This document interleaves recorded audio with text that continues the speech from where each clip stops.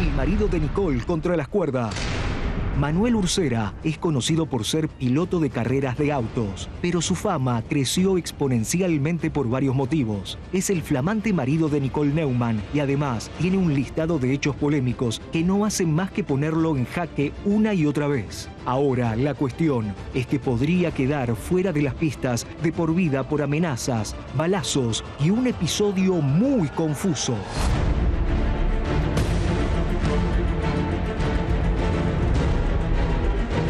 Encontró en, la técnica lo que parecía un, un disparo de, bala, eh, a lo cual se efectuó la, la denuncia, ni bien el equipo llegó a Pergamino eh, y bueno, se constató mediante un perito que, que no solo había un disparo, sino que eran dos. me parece bastante, grave y bastante,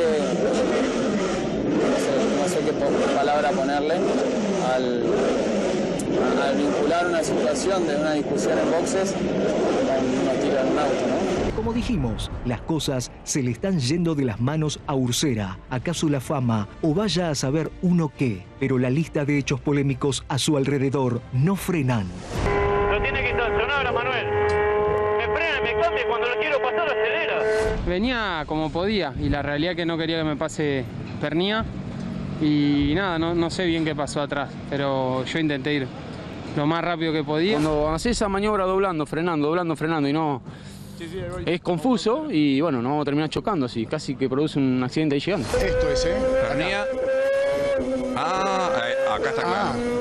Levanta Ursera, queda encajonado Pernía y lo supera la Rauri. Y Ursera saluda a Pernía.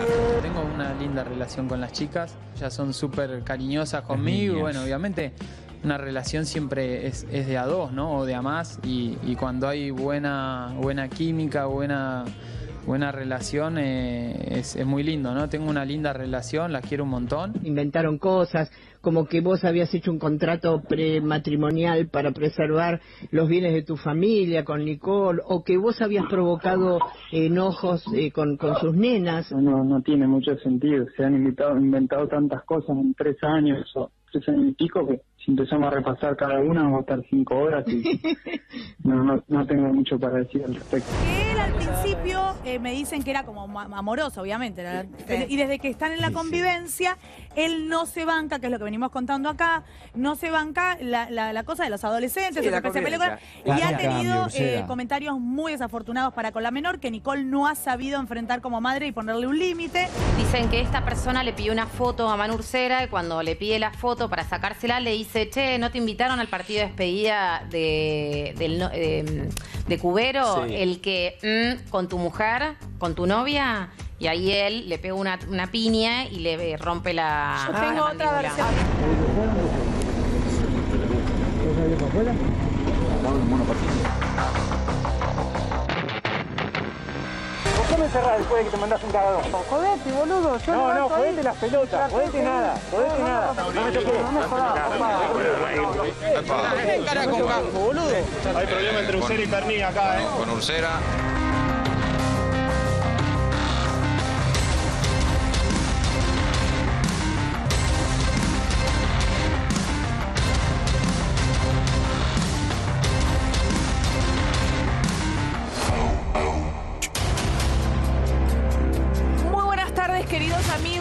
Amigas. Aquí comienza a la tarde y comenzamos con información de último momento ligado a este primer informe que te estábamos presentando. Eh, Manu Ursera atravesando tal vez el momento más delicado de su carrera. Eh, el año pasado fue denunciado por su equipo eh, por amenazas y por una balacera recibido en el auto de su más importante competidor, ¿no? Nos referimos a Leonel Pernía.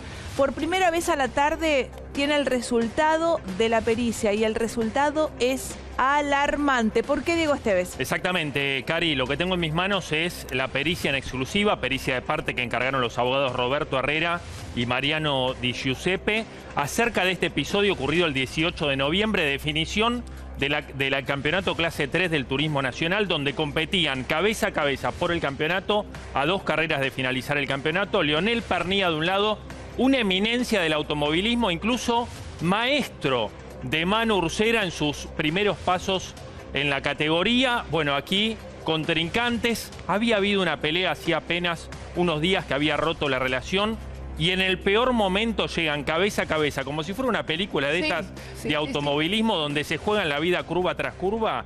Bueno, en ese momento cuatro disparos sobre el vehículo de Lionel Pernía que así todo logra quedar tercero y quedarse con el campeonato. Tremendo. Afuera de la pista, todo tipo de situaciones de violencia. En la largada, por ejemplo, y ese es el primer antecedente, uno de los eh, asistentes de, de Ursera que graba la largada y se pone justo delante de García, el dueño del equipo de Leonel Pernía. Se arma una discusión, el- la mano derecha de Pernía reacciona, cruza al asistente de Ursera y a partir de ahí se desata una situación que termina con cuatro disparos sobre el vehículo de Pernía y además amenazas directas, según el relato de los mecánicos del propio Pernía, amenazas directas de cuatro personas, una de ellas que casualmente, después de la carrera, después de que apareciera el auto, con cuatro disparos, con un arma en la cintura. Ahora, eh, la persona que tenía el arma en la cintura es ese tal Goma. No, Goma es ¿Goma otro. quién es? Goma es el hombre que se cruza con el asistente de Pernía en la largada. Sí. Esta Goma es el que va a filmar y el que recibe, digamos, discute, se cruza con el asistente del contrincante de, de Ursera. Esa situación empieza ahí con este Goma como protagonista y Goma va aparentemente, según el relato del equipo de Pernía, a buscar venganza. Ajá. Entonces van cuatro personas, uno de ellos Goma, el nombre es Hernán Gómez, mano derecha de Ursera. Sí. Van los cuatro a buscar a Pernía, a buscar, digamos, al equipo de Pernía, a buscar venganza. Uno de los que estaba con Goma, arma en la cintura. Se veía, ¿viste cuando te pones el arma en la cintura y queda, queda la, la remera un poco levantada y se ve la culata del También. arma? Súper Bueno, intimidante la imagen. no, hiper claro. intimidante. Claro. Llegan y lo, lo obligan a, a- a, digamos, al asistente de Pernía a pedirle disculpas a este goma, eh, a la mano derecha de Ursera. Lógicamente que hace eh, este asistente de Pernía, le pide disculpas en el momento, la situación era extremadamente amenazante y se van, ¿sabes cómo? En una camioneta, en una Toyota Hilux color negra, se suben, paran por el motorhome donde estaba el propio Pernía, después de haber quedado tercero y estar eh, liderando, digamos, el podio. Bueno, llegan en ese momento, se paran al lado en situación amenazante, camioneta negra. ¿Y cuál es el dato de esa camioneta negra? Que hay cámaras de seguridad que sitúan a esa camioneta negra, aparentemente con el hombre que tenía el arma en la cintura, Sí. desde un lugar similar, eso lo va a tener que confirmar la pericia, desde donde habrían salido los disparos, cuatro que impactaron sobre el vehículo de Pernía en carrera. Esto lo descubren los mecánicos tiempo después, imagínense ustedes, manejando un vehículo a altísimas velocidades, con los ruidos de la pista, Pernía ni se enteró, pero con un dato que puede dar un giro a la causa. Una de las balas entró de tal manera que pasó a tan solo 10 centímetros del pecho de Pernilla. No le quitó la vida. Llegaron del a matar eh, claramente. ¿eh? Escalofriante esta situación. Ahora, eh, em- Emanuel Ursera viene haciendo eh, una muy buena carrera deportiva, eh, con, hizo varios podios, realmente muy bien, pero también tuvo muchos escándalos. Recordemos uno que tuvo en la pista porque supuestamente lo insultaron, le gritaron cornudo, fue así. Sí, hay dos versiones. Una es esa, que le dicen, o le dicen cornudo a él, o infieren eso de Nicole respecto de Ursera. Esto fue en mayo del año pasado en Concepción del Uruguay, donde también había una carrera y donde hay dos versiones. Una era ese insulto, Sí. que directamente lo saca, lo saca eh, al actual marido de Nicole Neumann, que eh, arremete golpes de puño con un fanático, un seguidor que estaba ahí viéndolo. O sea, no era, no era un público hostil, era público que iba a ver una carrera y que le había pedido una foto. Y por otro lado, hay otros que aseguran que lo que le habrían dicho es, fuiste a la despedida de Cubero, el que se plin plin a tu novia. Digo, todos eran, a ver, puteadas de tránsito, agravios dichos a- al costado de la pista, pero lo que sí generaron, y fue comprobado en mayo del año pasado, es la violencia. De este hombre que directamente no tramitó esto con palabras, sino que fue a las trompadas, ¿no? Totalmente, pero tam- también a eso se suma Corita, eh, que tuvo unos, unos idas y vueltas en chat con una de las hijas de Nicole, ¿verdad? Sí, con Indiana. Todos sabemos que Indiana ya desde hace bastante tiempo decidió vivir con su papá y con Mica Viciconte.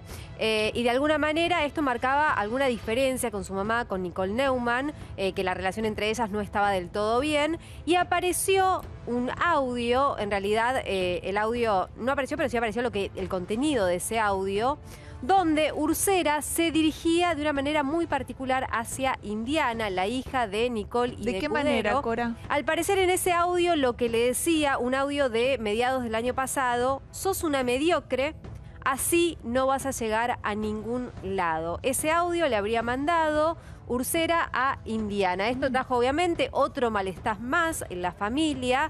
Eh, Indiana obviamente se refugió en su padre, en Cubero, y también en Mica Viciconte. De hecho, Cubero decidió por el momento, o en ese momento, no hablar con Ursera, pero sí hablar con su hija y ver de qué manera se iba a manejar. Qué situación, ¿eh? A ver una, si- una familia ensamblada, ¿no? Estas cosas pasan cuando se empiezan a conocer las partes y puede haber malentendidos. Tenemos que saber el contexto en el cual le mandó el audio, de decirle mediocre a alguien y sobre todo a una chica, digamos que no, no necesitamos mucho contexto, es un poquito fuerte. Pero bueno, vamos a darle el beneficio de la duda. Información de último momento. A ver, ¿de qué se trata Diego Esteves? Bien, la causa tiene secreto de sumario. Estoy hablando de la causa que involucra a la hija de Nicole Neumann. De un lado, Cubero, del otro lado, eh, Nicole, padres de esta chica. Y en las próximas horas, Fabián Cubero va a presentar pruebas que van a complicar la situación de Manuel Ursera. eh, hasta acá, que había hablado, habló hace pocos días, le bajó el precio absolutamente todas las denuncias, las públicas, pero las que tramitan en la justicia, lo están complicando. Hay secreto de sumario por tratarse de una menor, pero a la tarde siempre llega la información. Así que por un lado eso, y por el otro una, una situación que déjame decirte, Cari, la de la carrera de automovilismo, podría dejar fuera del automovilismo a Manuel Ursera De por vida. si se prueba la responsabilidad de los integrantes de su equipo en este ataque que, lógicamente, también conlleva una denuncia penal. Con